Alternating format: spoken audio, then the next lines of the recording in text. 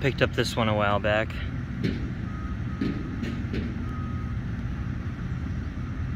Got a few minutes to kill today. Waiting for the girls to get dropped off. So I wanted to open it up.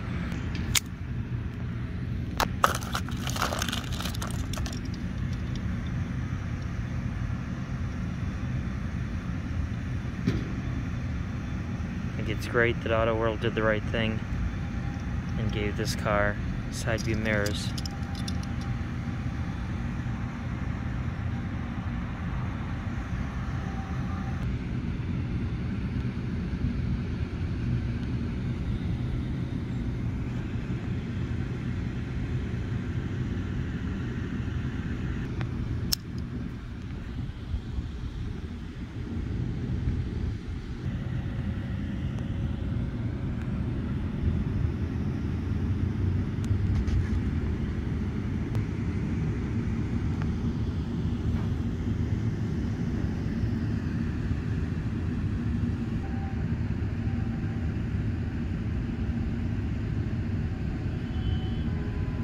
One twelve.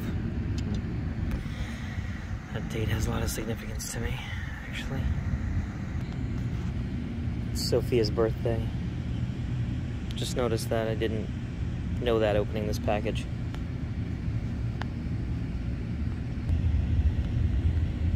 The red engine and red seats and red interior trim is a it's a great color combo. And again, I commend Auto World for putting side view mirrors on this casting. I'm not even buying any of the Greenlights for that reason. They got lazy and there's no side view mirrors and that drives me crazy and it's sloppy and unacceptable in my opinion. Really did do a nice job with this one.